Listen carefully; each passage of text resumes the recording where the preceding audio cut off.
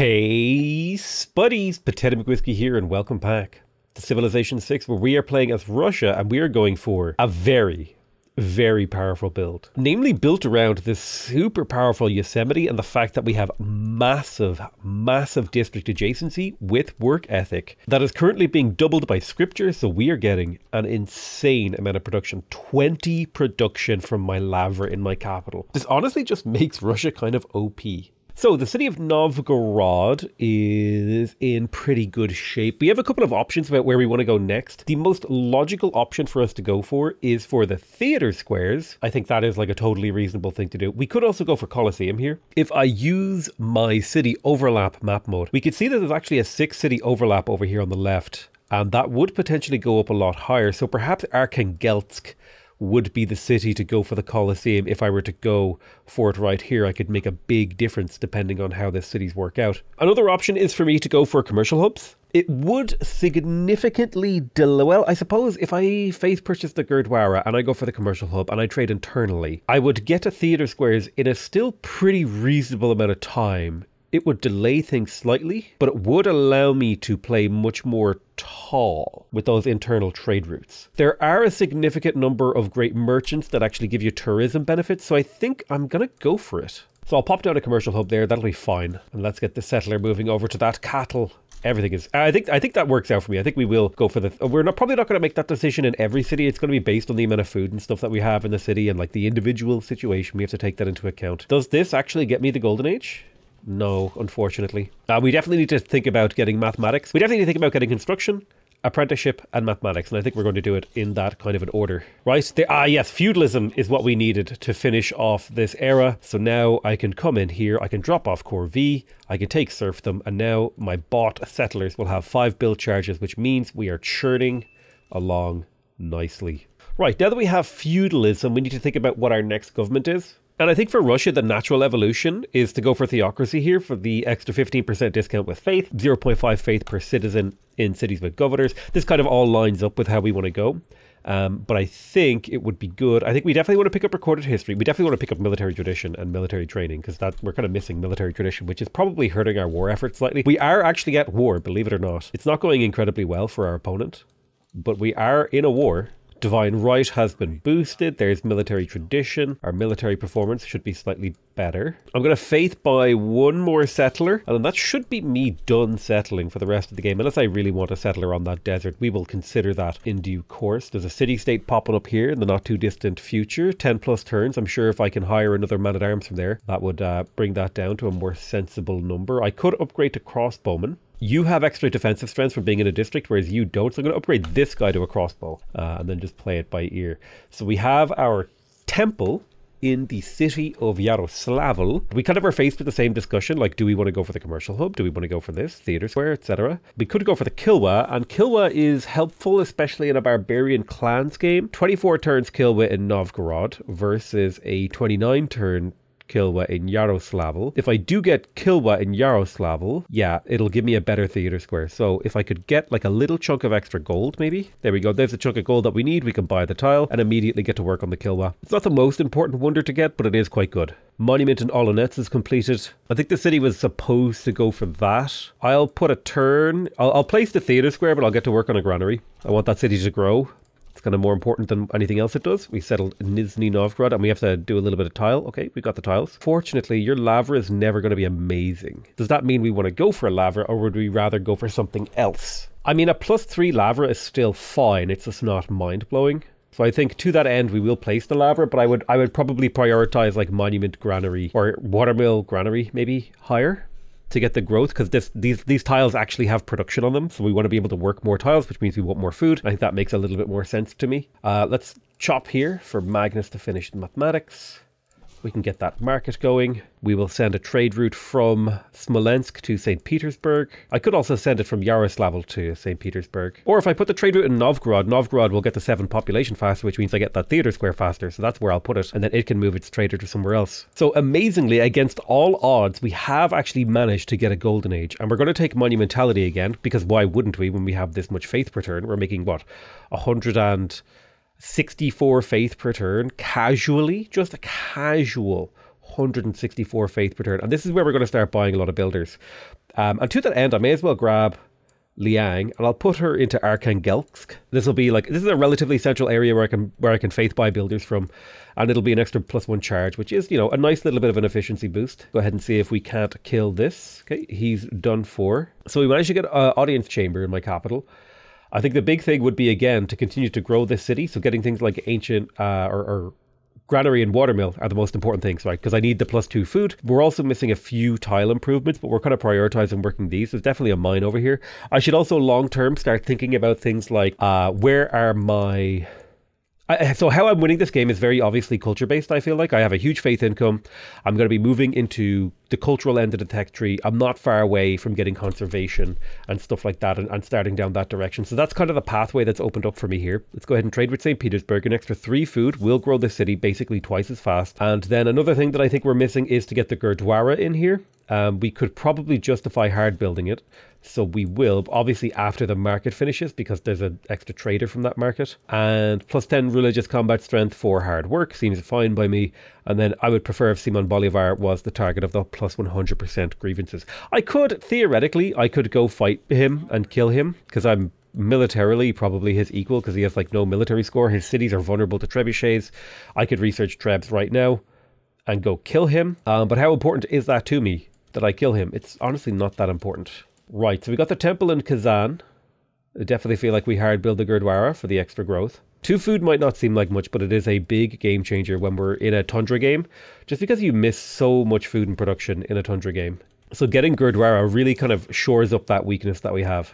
So a couple of city-state emergency failed. We do have military training now. Let's go ahead and make our way at least towards Divine Right and Reformed Church, I guess. Um, keep blasting here. Swamp. Send envoy. If we put an envoy into Cardiff, we would get two envoys in Cardiff, which would be quite good. Any city-state missions I can easily do. Celestial Navigation, what is that? I think Celestial Navigation is two galleys. Yeah, so I could easily buy myself another galley and see that move pay dividends. I'd need like a little bit more gold. Any salt buyers? Any iron buyers? There you go. So let's go ahead and grab ourselves a second galley. That's a boost for shipbuilding, which should now get me Oh, two sea resources. Sorry, mixed them up. We should be able to do that just as easily if we faith buy a builder here. We faith buy a builder here.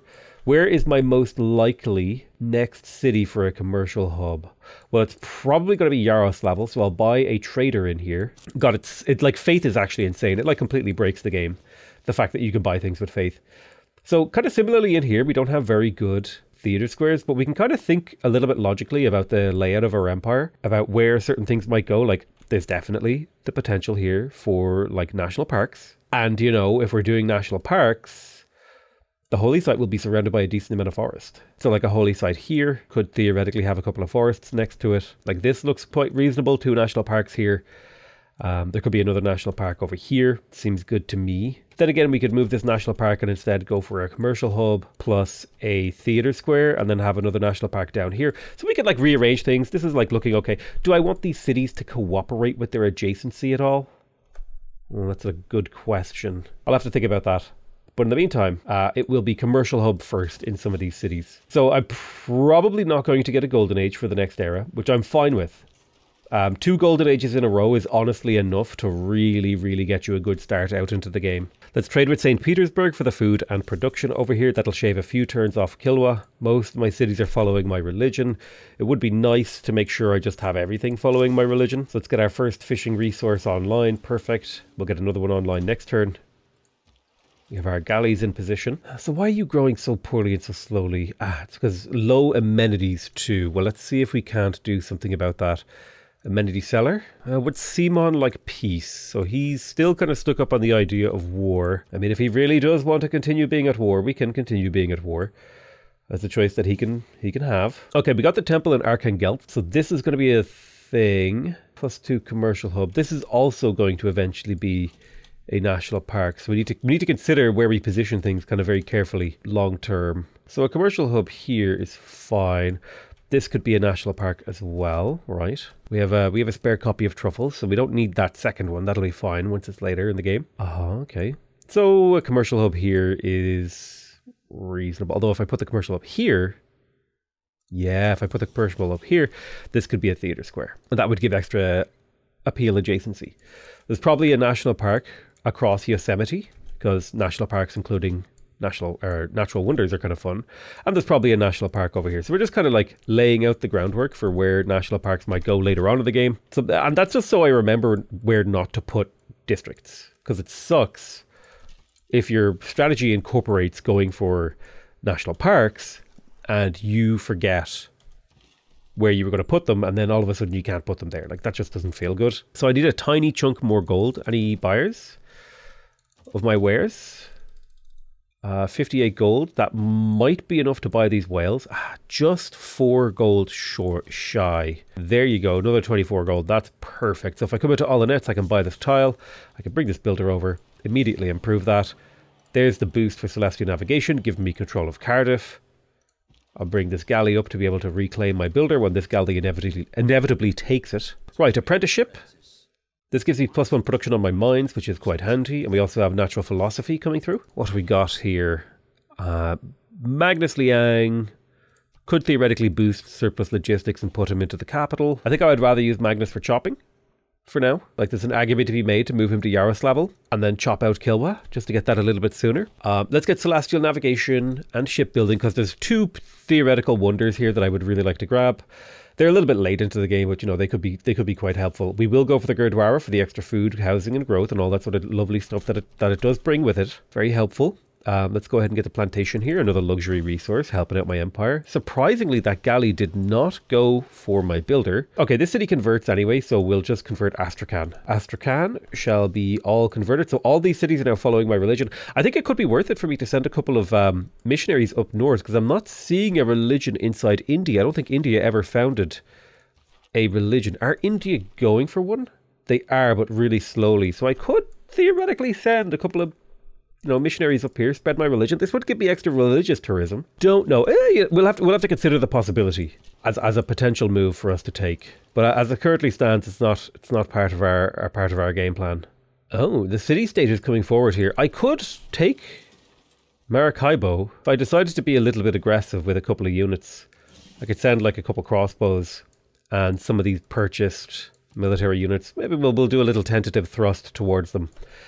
Um, I would love to get my Diplo quarter. I also want to get my Gurdwara. I'm going to faith buy the Gurdwara and then hard build the Diplo right there. Gurdwara is well underway. Perfect. Novgorod, you've got 10 turns to grow, which is pretty reasonable. Go ahead and get me that trader. Did one of my traders get murked? I think maybe it did.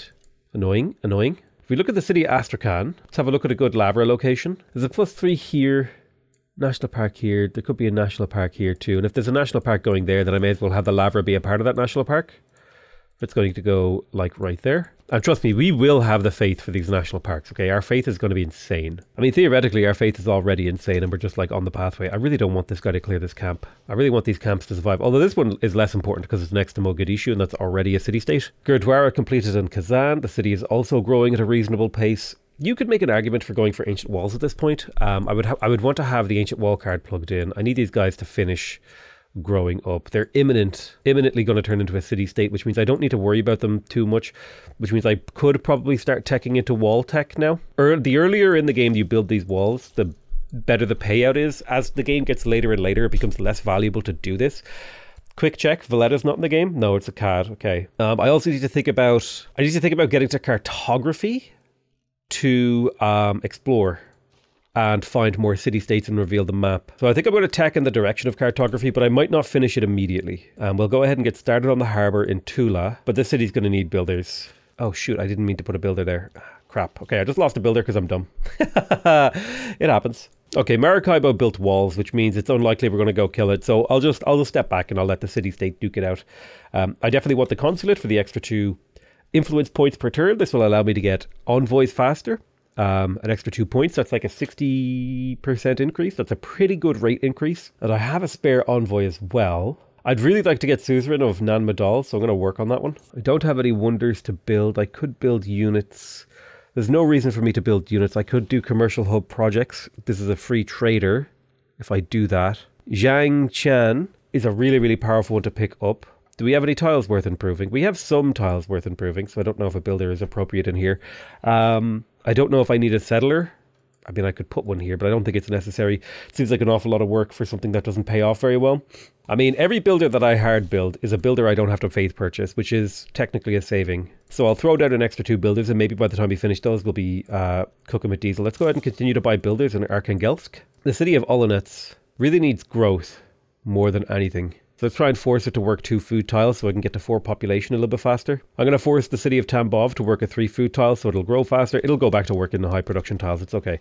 Grow growth. Uh, the, when a city's population is below four, growth is far more important than production. And then kind of in like the four to seven range, that's when production starts to become just about as valuable as food. And then from like the seven to um, 10 range, that's where like production is more valuable. So that's usually the arc you kind of want your city to go through. Right, let's faith purchase a builder over here in Yaroslavl. I want to trade with St. Petersburg. I'm not sure how this trade route got killed originally, but it should be fine. Shouldn't happen again, I don't think. Honestly, it could be worth it for me to like pre-purchase all the builders ever. At the very least, it should be worth it for me to like faith purchase builders in Arkhangelsk because there is six charge builders.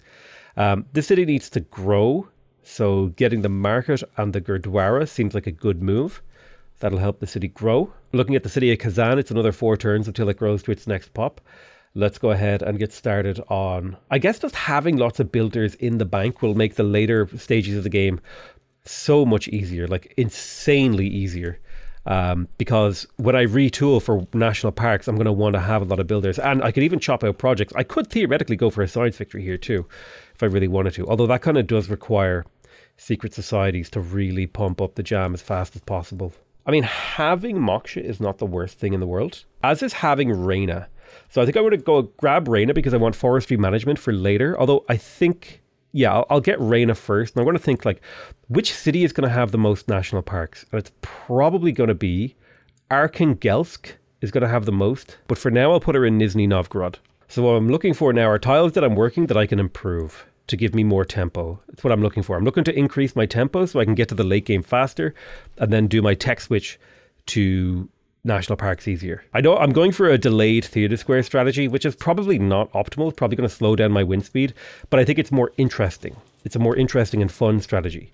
It's not necessarily optimal, but it is fun. All right, let's run back with this spearman. You step forward, become a man at arms. We're kind of getting a little bit screwed here, but that's okay. This needs to belong to Yaroslavl, so I can actually chop out the Kilwa faster. There's four turns off the Kilwa. I'll bring a crossbowman this way as well. I'm surprised he doesn't want peace considering he's gotten nowhere in the war. We have a consulate in my capital city. We have three fully built districts.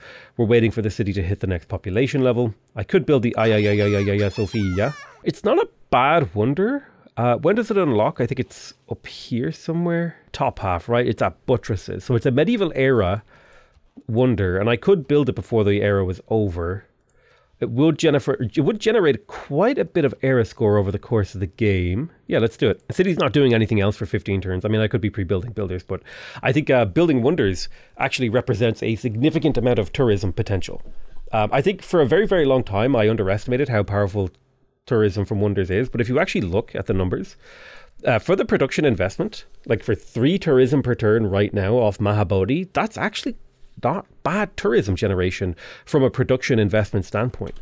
Um, they get less efficient the higher the era is, but generally anything from like medieval and before is super, super worth it in terms of tourism.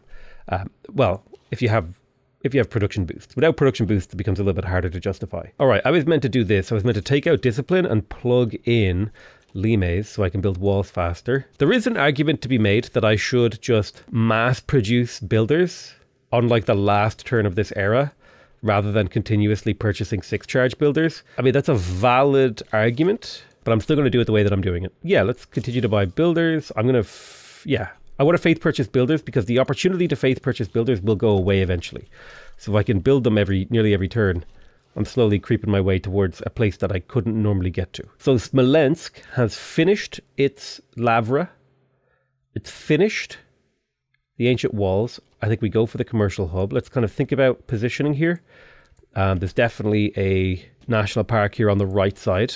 Yep, that's a good spot for it. And so it would be pretty reasonable to put a theatre square down here in the southeast. Astrakhan is in a position.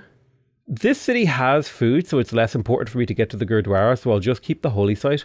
And otherwise, I'll go for the watermill as a filler thing before we go for the commercial hub.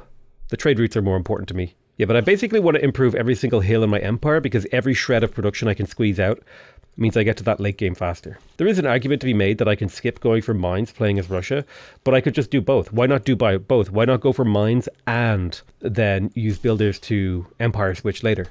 Why wouldn't I just do both? Right, time to grab Li Bai as our second great writer. We do want to start getting our theatre square soon, and it's not too long until Novgorod can start its first one, so I'll just quickly do that.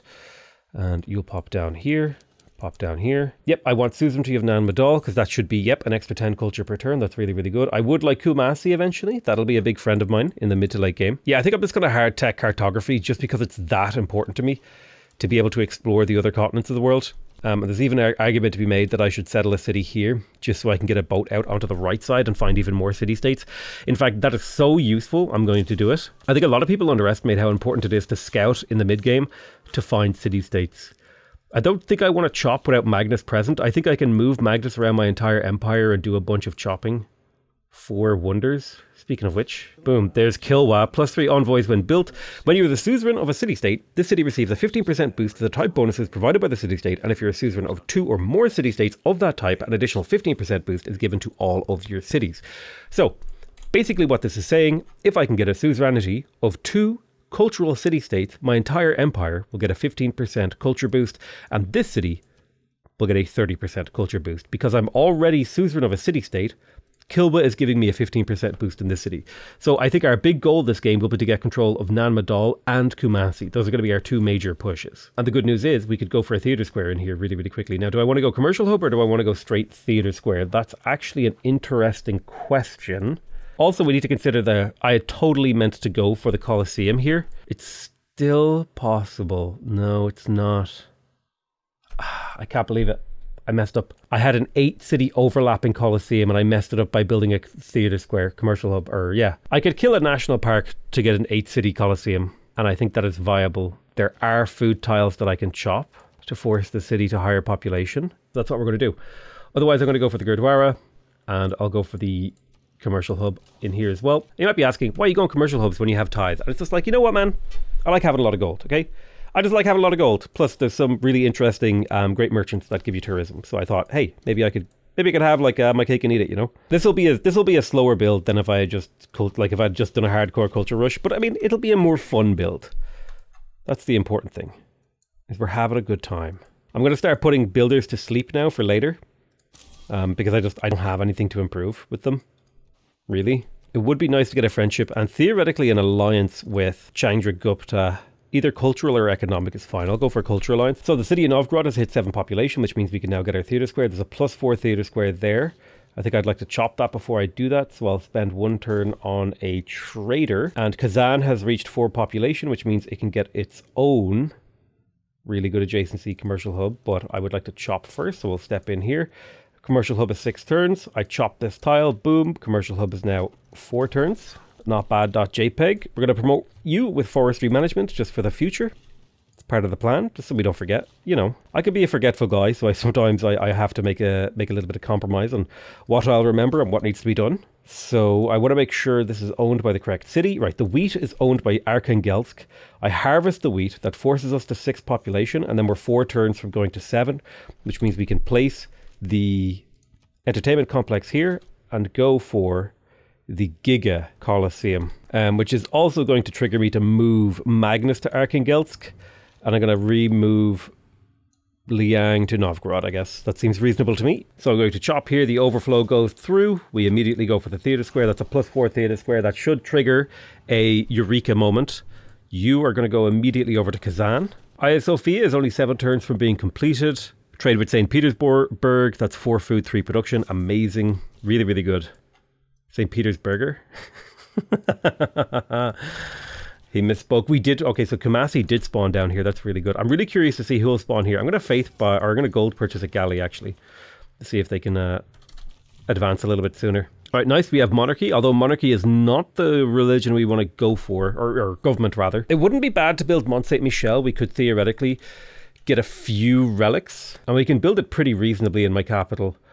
The only problem is it's my one big food tile that I would have to give up. My capital is getting a little bit cramped for, for tiles as we speak, so we'll have to consider that a little bit carefully. But yeah, we're waiting out for a Reformed Church. I've become the su- first suzerain of a city-state. Who was that? Ah, I think I took Kumasi. That's great. They want me to recruit a great scientist. Okay. It wouldn't be bad to take Bandar Brunei, and I will. It's another two era score. Very nice.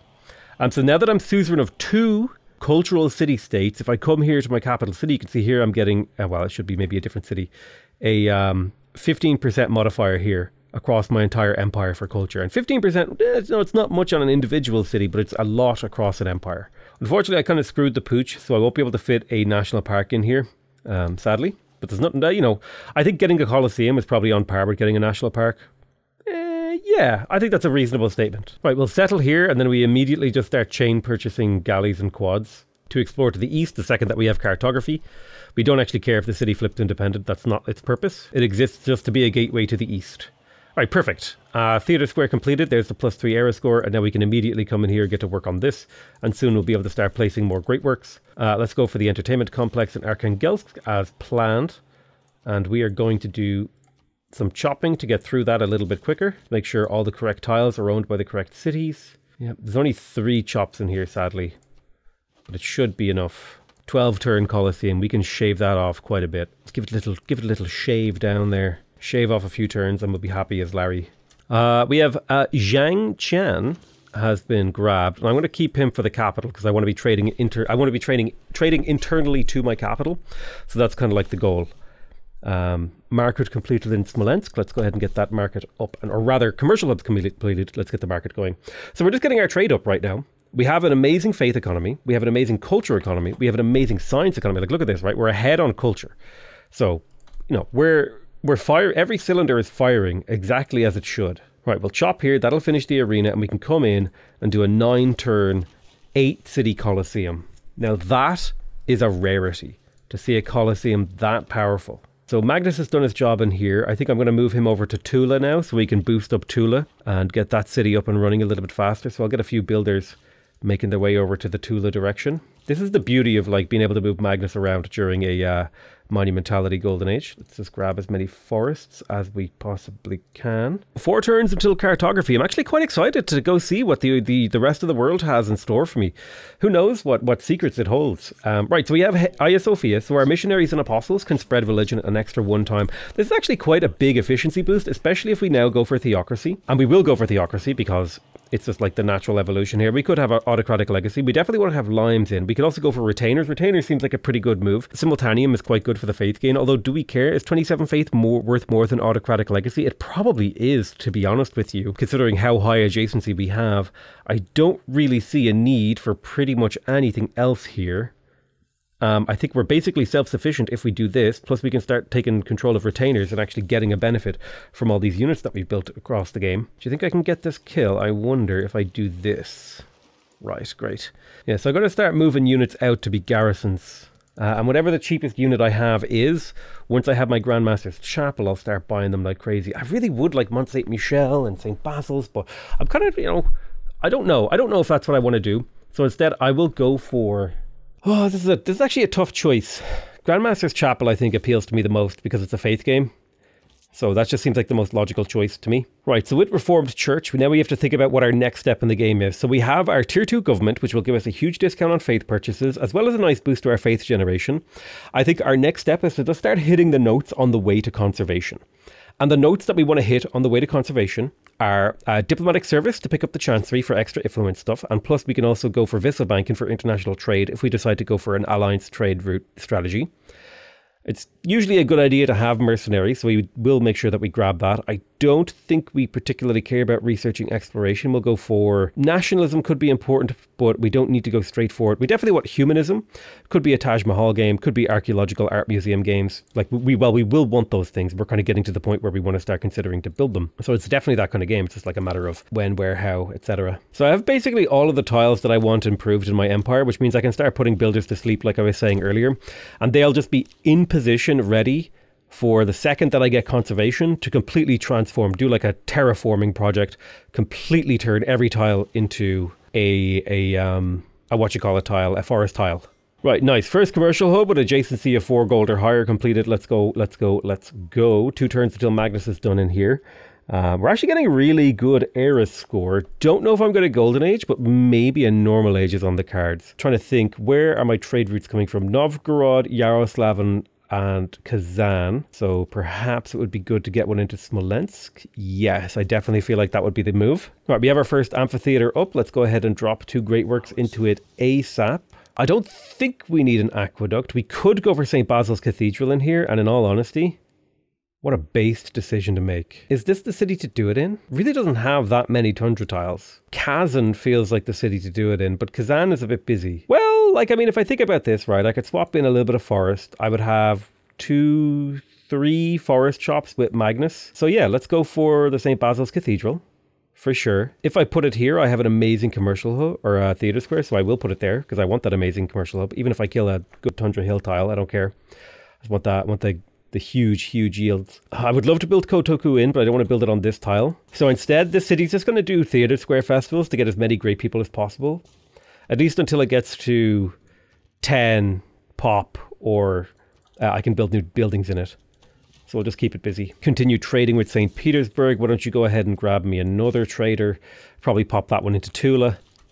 Just continuously developing these cities. My stats are incredible. At a certain point, though, there is like a diminishing return to stats. And, and just for people who don't know, stats basically means like production, culture, science. At a certain point, there's a diminishing return. Like going from 10 science to 20 science is huge.